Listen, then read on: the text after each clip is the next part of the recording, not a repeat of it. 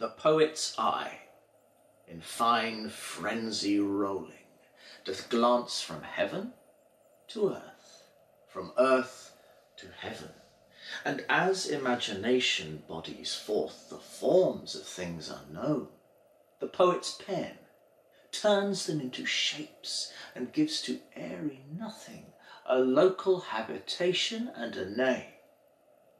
Such tricks hath strong imagination, That if it would but apprehend Some joy, it comprehends some bringer of that joy.